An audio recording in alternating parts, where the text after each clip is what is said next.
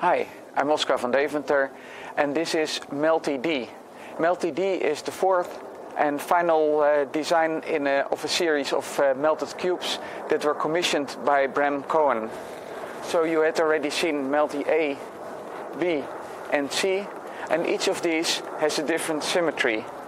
This one has uh, threefold rotation symmetry and mirror symmetry. Uh, B has a twofold rotation symmetry. C has only mirror symmetry.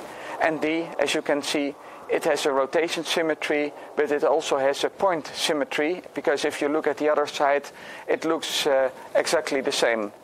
So um, this one has no mirror symmetry, by the way.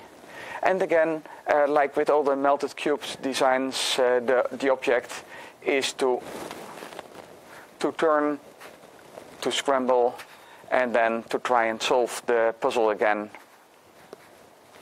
So my question about uh, this melted cube is about its uh, geometry. As you saw, uh, it has a threefold rotation symmetry here. It has a point symmetry, which means that at this side there's also threefold symmetry, and there are no other symmetries. So what other puzzles do you know that have rotation symmetry, but no mirror symmetry? Thank you for watching.